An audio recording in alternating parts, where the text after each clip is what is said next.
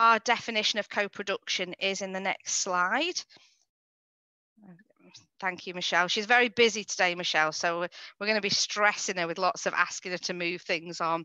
Um, so I don't know whether you can read that. It looks a little bit strange on my screen, so I'll read it out for you. So we worked with um, young people, children and families and ourselves as a group of, of co-production um, people to look at what our uh, definition should be. And we came up with co production happens when all voices are actively listened to from the start of the planning process. This involves a mutual respect for each other's views with an open and honest relationship that's transparent and continually evolving to achieve meaningful and positive outcomes. So that's where we've kind of started. And we make sure that that definition um, is introduced and put into every single work stream around children with SEND, um, that it sits within all our policies, all our operating procedures, so that we all have a mutual understanding of what co-production is. Um, for those of you who are a little bit newer to co-production, I have put uh, the next slide is about the participation ladder. So this is kind of where we started really in thinking about where we were as an organisation. I'll talk a little bit about our journey in the next slide. But this is the ladder of participation. And at the bottom of the ladder is kind of coercion and educating. And at the top of the ladder is co-production. And you can see from the right hand side that what we're trying to do when we're working with families is that co production and co-design. So it's an equal and reciprocal partnership. And there's some things in the middle that we'll always have to do. So, you know, um, as, as children's nurses as doctors we'll always at times have to do for people there'll always be that need for that and there is sometimes a need to do two but actually they should be really rare occasions and about saving people's lives and, and keeping people very safe what we're aiming for is always to work at the top of this ladder so, in terms of our journey, for those of you who haven't been on the journey with us, I know there's some people here that might not be from Stockport. Um, we had our um, Ofsted and CQC inspection of our SEND services back in September 2018, so two years ago. Cast your mind back to a world, no pandemic, we'd never heard of COVID. SARS was around, but we didn't have COVID. Um, and from that inspection, we got something called a written statement of action, so a WISO, if you hear us talking about WISOs. And one of the key actions in that was that we needed to co produce with families. And that word with is really important. And it's both about working with families, but also about us as professional groups working together as well.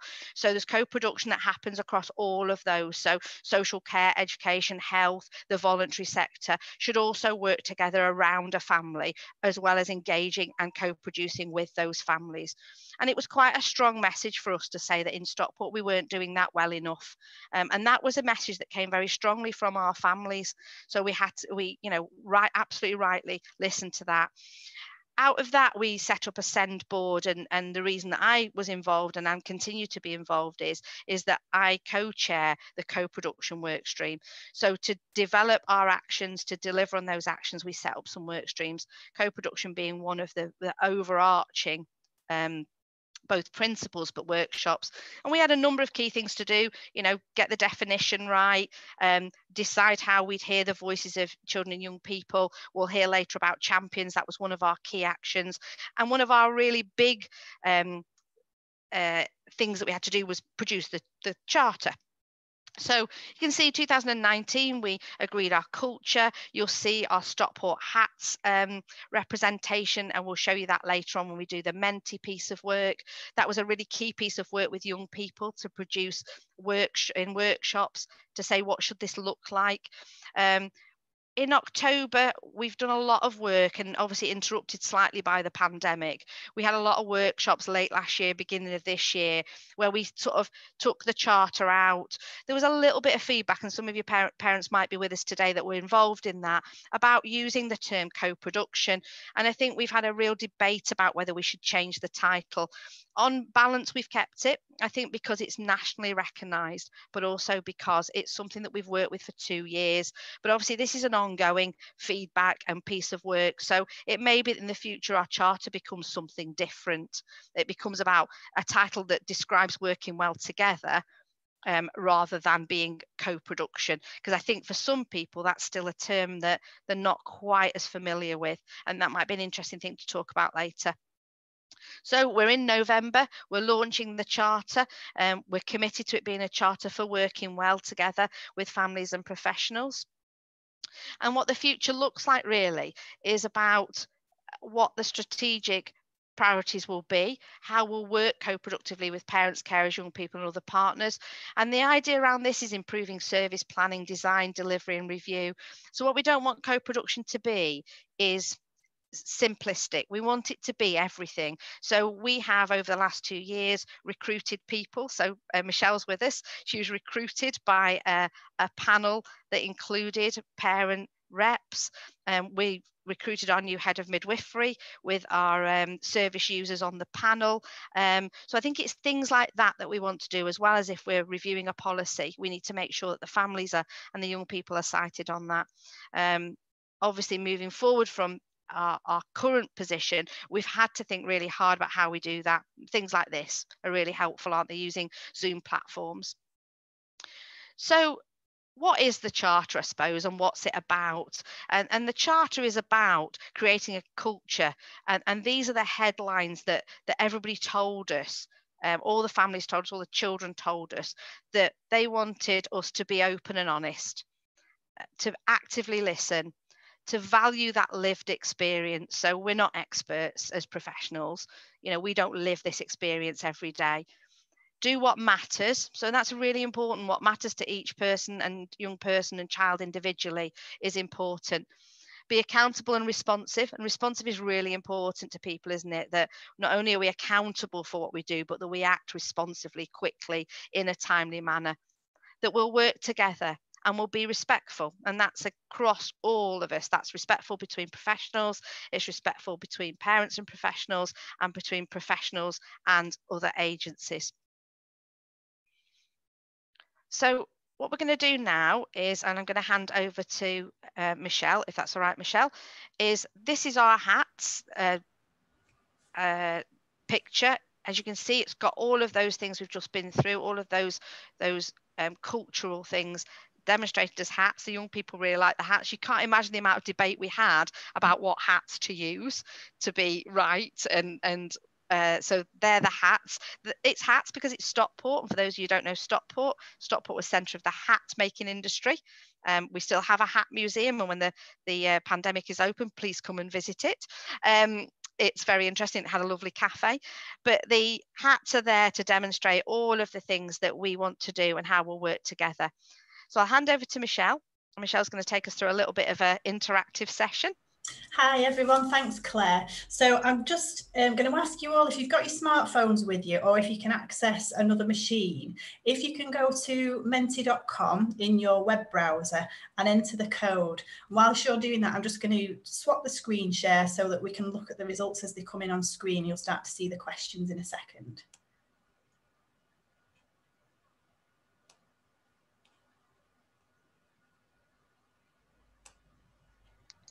Everybody all right so far with that? Are you all right?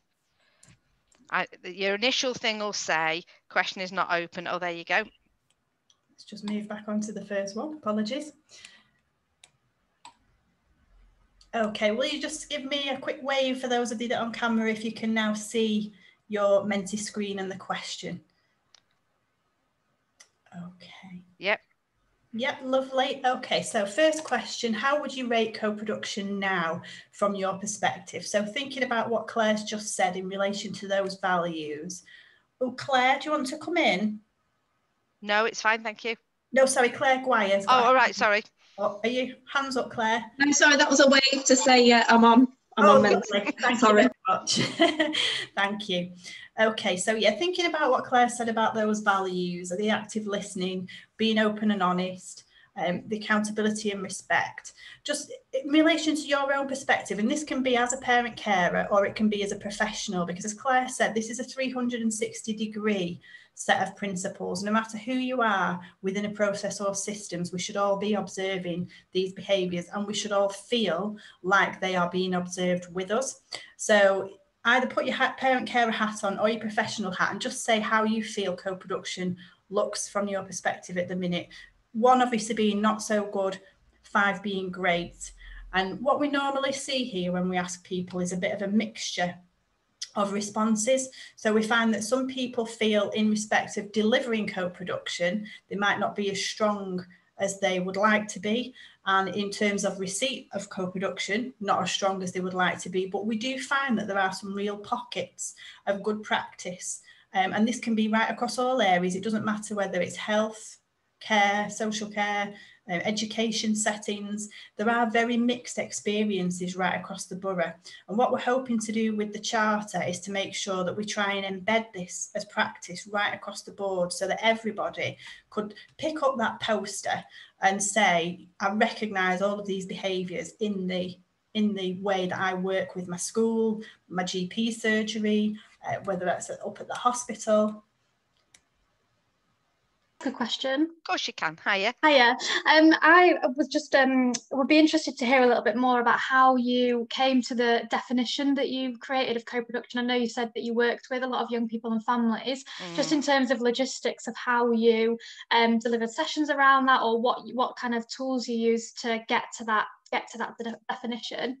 Okay, so uh, obviously we were in the days when we could all sit in a room together. So it was very early days, really. I think we initially started with a kind of quite a tight group with parent reps on, and some of our. Uh, so we obviously worked with what were then pet pips but pacts but one of the other things that the dfe fed back to us is we needed to broaden our parent representation rather than working very narrowly with with one group.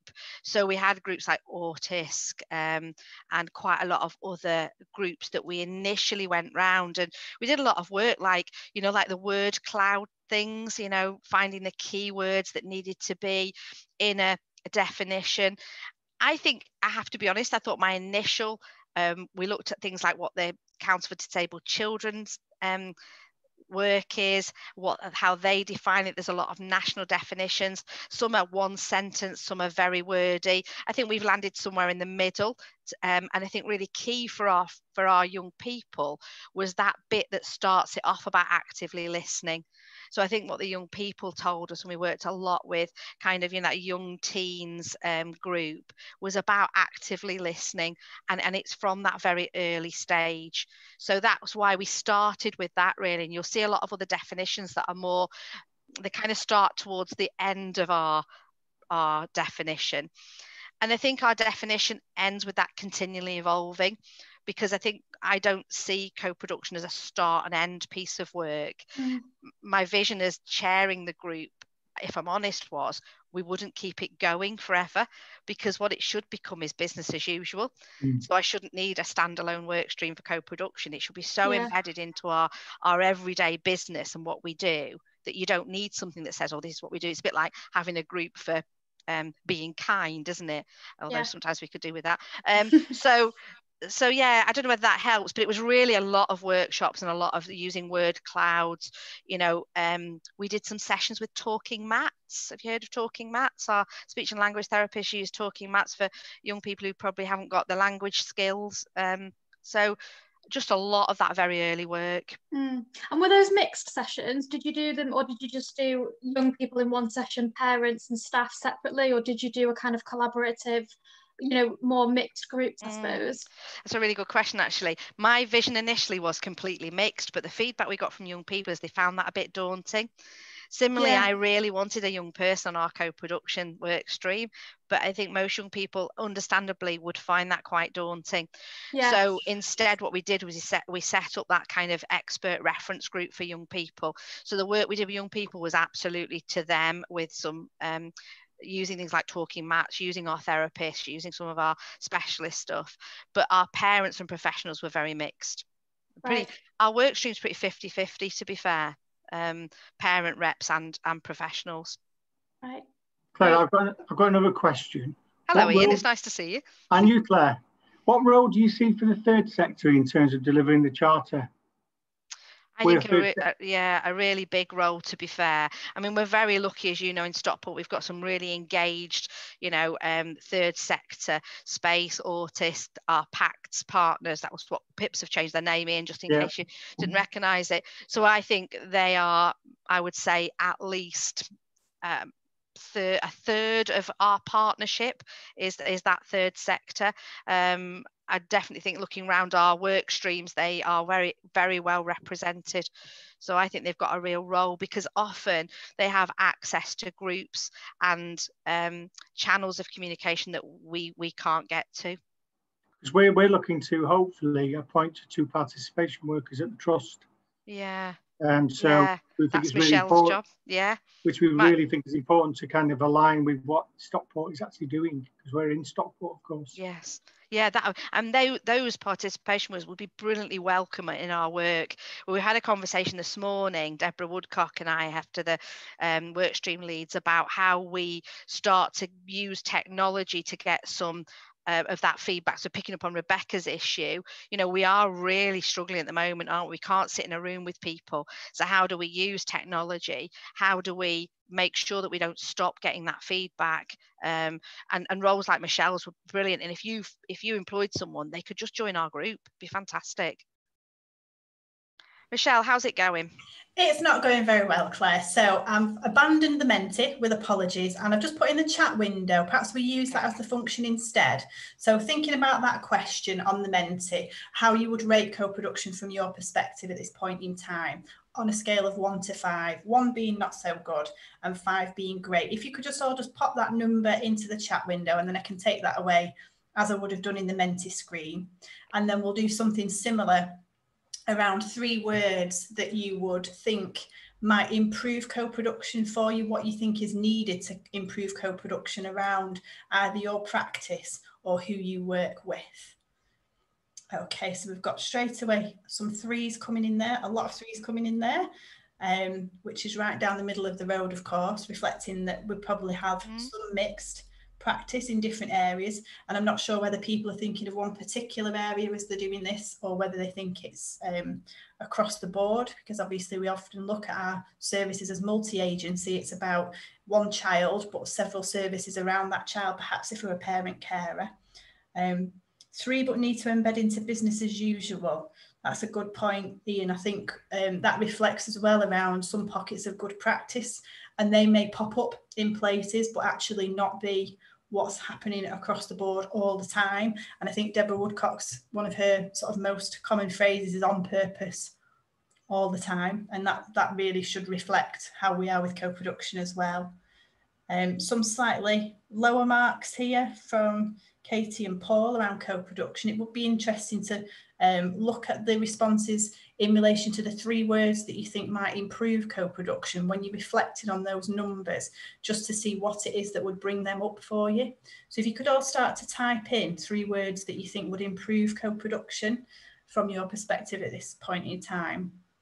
Um, and it might help us just to balance because we need to look across the area at what our offer is to staff as well, to our workforce in all settings to enable them to do co-production well with parents, carers, and children and young people, um, because it's not necessarily um, the easiest practice. Depending on what your profession is, you can feel very constrained by rules, regulations, laws that you think make you have to work in a very particular way in order to meet those points of law to do your job well but actually there are still ways of working around those rules and regulations that still are very person centered and bring out for the for the family what they actually need in the process, which is that person centered um, approach to meeting the needs of the child. Because at the end of the day, no matter what the statute around your job, that's probably why you're doing it. It's about meeting the needs of the child. Okay, so we've got words coming in here around visibility, trust and innovation, honesty, openness and trust, visibility, trust and innovation, listening more to parents and children, important, essential trust. Time to talk. Time would be a lovely thing. Mm, I like lovely, that. Lovely thing. Mm. Yeah. Trust is such a big thing, isn't it? And it came out a lot around when we were talking to people around that trust. And I think, you know what, as a as a professional, I think it goes across trust of each other as well. So I think what Michelle was saying, you know, that we need to trust each other. I need to trust social care. I need to trust education. They need to trust health. And we all have our own little kind of areas, don't we, that we think, you know, that we um that, that we know about each other, but often we don't. So part of our work is to understand each other, that respect, engagement, talking, I think is really important so there's some great words, aren't they? Definitely. Sharing information. That's a really, really common theme. Um, and what we're hearing a lot from parent carers is that reports are written about children, never shared with the parent mm. carers. We don't know whether the child was involved in, in, in writing the content for that report. So, yeah, there are lots of areas that um, we need to improve on. So what I'll do is take all these um, as feedback and we will feed them into our processes to, to help train um, across the workforce and just to build that understanding of how people feel. And hopefully, if you were to come back in six months' time, in our next send week of action when we do a co-production webinar, uh, we would see those scores start to go up and some of those words perhaps change as the scores go up the context for what needs to improve beyond that again may well change so thank you very much for your input on that and hand back to claire Lovely, thank you very much. They're really useful. And what we might do is take those words and put them into a bit of a word cloud and see how they how they look. I mean, I have to say, despite I think three is probably a fair. I would put three. I didn't engage in it because I didn't want to to to get involved. Um, but I think three is about right. You know, I think we are further on than we were, but I don't think we're anywhere near four or five, and that's probably realistic. So, so I think that's really helpful to see that I'm not far off in how I think things are. So what I'll do is move us on just to have a little look at some of the, the work we've done. Um, so we did, uh, we've talked a little bit about the workshops we did. We had a really useful opportunity to work with an artist who's worked with the council before um, and with, with some of our, um, with PACTs to sort of almost write uh, illustrate the work we were doing. So this was a this was a workshop we did specifically on the charter. Um, and the artist helped us with how um, those hats would link to all of those headings. So this is just really to demonstrate some of the work we've done. And obviously what we're working with sometimes is um, young people who aren't um, aren't able to understand. They might need some easy read. They might really and some very young children who we'd want to have those hats turned into something realistic. So i particularly like the fireman one under keep safe you know um, that actually not only is that a hat but we can demonstrate there's a kind of hose there as well. So there's that. And then the next slide kind of looks a little bit around how our tree links with that. And those of you that haven't been involved along the way, the tree, if you zoom in on it, is the fingerprints of the children who were involved in one of our workshops. So they actually did fingerprints and and then one of our young people designed the tree with the fingerprints as the leaves. So that's been really powerful for us. And I think we just keep need to keep telling the story of that so that we remember uh, and the framework that we're building around what our outcome should be for young people is around these domains, around the charter and around what culture we want to build. So I'll just pause with those two slides, see if there's any questions at that point. Have you linked yep. into preparing for adulthood at all with that? yes. Yeah, so so that's there's kind of a, a transition piece of work, Ian, that's kind of if you read um, quite a lot of the kind of outcomes in detail, and I'm happy to have a discussion with you in more detail. That, that preparing for out, adulthood and the transition is really important, and I think it's an area that we really need to work at. It, not really just 16 to 18, but that 16 to 25 kind of um, domain. Um, I'd be interested to know also from you, Ian, what what you you know what the Together Trust is doing around that as well, and and whether we could work together on some of that. Um, so we're really keen to link the charter, so that the headings from the charter, which you'll see on the far left of this, these boxes, to the outcomes that young people said that they wanted. So that link to feeling safe, being loved and cared for, hearing voice that voices being heard, um, I think a really there's some really strong statements in this link to outcomes. I think the one that comes through such a lot for me is my voice is heard and acted upon, and I think that's really important from Ian's what Ian's just raised, especially as we've got young people going into adulthood that we're listening and we're we're adapting our plans for those young people.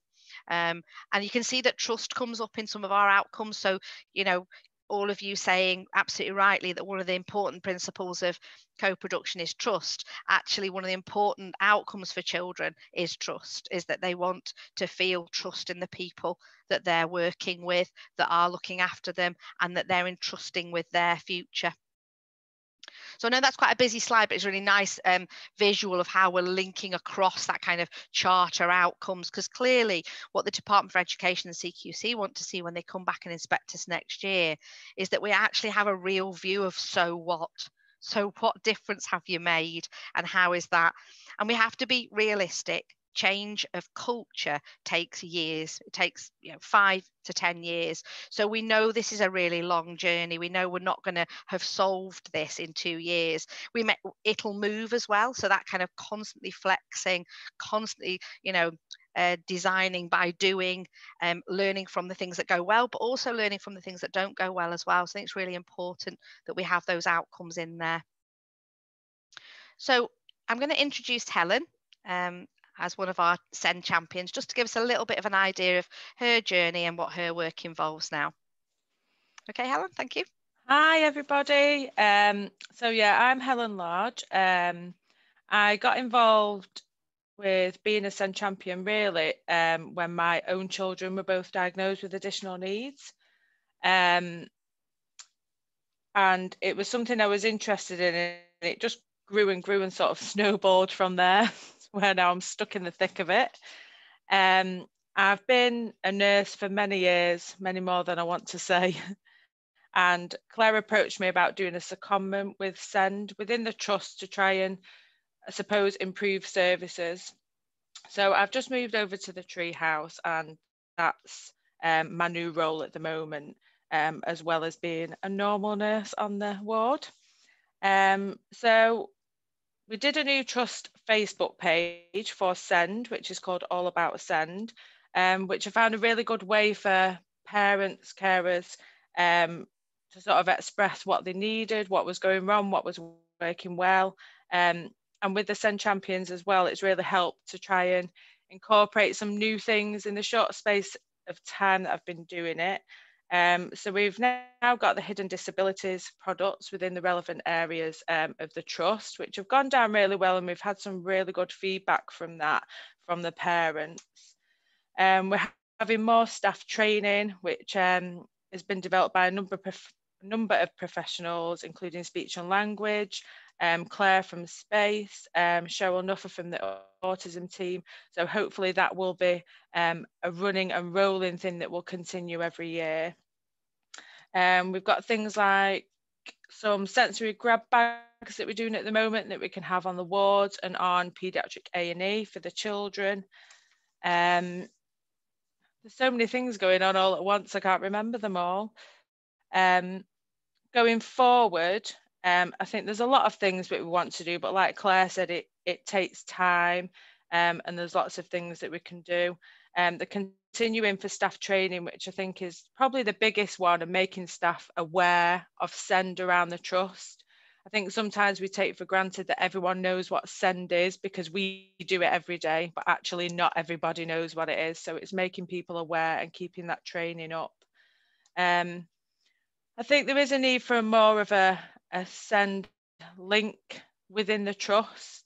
Um, I think everything's a bit separated and maybe we need to look at having a bit more of a proper link so we can feedback things and and have that more time like you were saying with parents. We can spend time with parents spend time with families and look at what we can do to help and improve things. Um, we're looking at things like so our play specialists on here are amazing and i don't think um, they're praised enough and promoted enough for what they do and they've actually done a lot of visual information sheets so for parent um, children that come in and that are struggling you know there's information visual sheets for x-ray for taking bloods for going to theatre So at the moment, we're just looking at sort of reorganising them, rejigging them a bit and having a couple of folders. So we've got one on children's A&E, it will be there soon. Um, so if children are worried, we have those visuals there that we can give to families to go through and have a look at. Um, the other big thing I know that Claire's keen at is in the future is looking at redesigning the ground floor of the tree house. Um, we've got some charity frog money um, and she's keen to spend that down there. So I think it would be really nice to get a little focus group of children, I think, or families um, to get an input of what they would want for down there. I think we're very good at doing focus groups for parents, but we don't always involve the children. So I'm quite keen to have quite a lot of children involved in that to see what they would like and what they what they would feel more comfortable having down there. So there's loads of stuff going on, and like I say, if anyone wants to get involved, um, you can either join the Facebook group, um, or you can put in the chat, and I'll send you my email, and you can give me an email. Thank you. I hope I've not waffled brilliant. on too much. no, that's great. I mean, Helen has made such a difference in such a small amount of time. So when she said I offered her a secondment, literally I gave her a day, a week. um, she used to work in the neonatal unit and, and I gave her, a, and then she has uh, grabbed an opportunity to move to where obviously the heart of the action. So Helen's commitment to the service has been absolutely amazing. And I think she's absolutely right. What we need to do now is move on to how do we get young people involved in designing our space. We've got an opportunity. So when there was the frog, as Helen mentioned, when there was the frog um, uh, trail in Stockport. If you remember a couple of summers ago, they auctioned all the frogs off and all the money came to us. And I absolutely want to use that from everything. We've got really poor changing facilities for older children who might not be able to use traditional bathrooms. We've not got great, we haven't got a room that's that helps with children that might be a bit sensory overloaded while they're here. Um, some of our space is a bit open, isn't it? It feels a little bit daunting. Got a great garden, um, which we had a lot of money raised for a while ago. So I think it's that, it's getting young people involved in that. And Helen's role is absolutely yeah. important about raising that. And we also need to do that challenge. So we, we, we're, we're starting to move on to thinking about how we get organizations like ours uh, to pledge to do things. So to me, we should never um, write a job description, design a new policy, interview for somebody without having children and families involved in that decision. And there's absolutely no reason why we can't do that. We've done some really creative things. Anybody know what the Family Nurse Partnership do? They have a focus group of um, mums and babies who interview um, it, before the panel and they score um, the the professional who comes in. They have to spend some time with mums and babies and toddlers and that they score them for would you want them in your house? Would you want them working with your families? And i think we just need to really embrace that um, as all organizations um, and, and and the local authority are doing that really well. We've recently appointed a, a really senior role with a with a family panel. Uh, michelle herself went through that didn't you michelle so I think it's just embedding those kind of things because then we'll employ the right people with the right culture and we'll set them off knowing that that's how Stockport works. I think that's really important. It's worth um, just saying, Claire. So we, we're, we're um, developing our recruitment strategy to make sure that all key roles have parent care and young people representation. And what we're finding is because we want it to be an organic process in the spirit of true co-production, is that it's flexible enough to adapt each time. So mm. what we found was we went out with a really good plan to involve young people when we appointed our local offer coordinator, for example.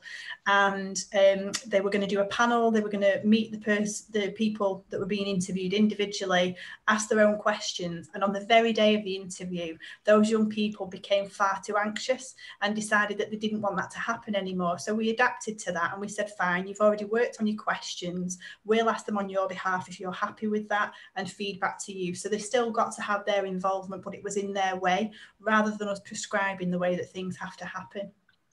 And that's that kind of design by doing it. It's similar, isn't it, to one of our original pledges as a co-production work stream was to have a young person on our work stream. But actually that is far too difficult um, for young people to get involved in. So it is about having that reference group and that feeding into the group instead. Sorry, for some reason I put a sweet in my mouth while you were talking, Michelle. I don't really know why. So our last slide is really just it, it I've we've used this before. Oh, actually, I don't know whether it's come up properly. Can everyone see that properly, or do you still get the old slide there? Yeah, we get the old slide. Oh, there you oh, go. Oh, there you go. It's coming up now. I think this is a great slide that that uh, if you search the internet for user experience and design, this comes up many times. And James Brown, who was our previous um, CCG communications officer, used it. I think what it shows is that we as professionals might design that path. And we might think, God, that looks brilliant, great path. But actually, what users do is they cut across the grass. and what we've got to do is design our services to cut across the grass for them you know, um, and to make that grass safe. So actually what would be unsafe for that is if you're a wheelchair user, but, but you might still decide to use it. So I think it's really important to think about what matters to people. If you think about the charter and how we want it to, to um, be used, we want it to be used so that um, families, children and young people and carers can take it as a piece of um, as a document to a meeting and say, this is what matters to me, and you've pledged to work to this charter. So that's kind of the end of our presentation. Uh, we've got 10 minutes, so I'm happy to take questions.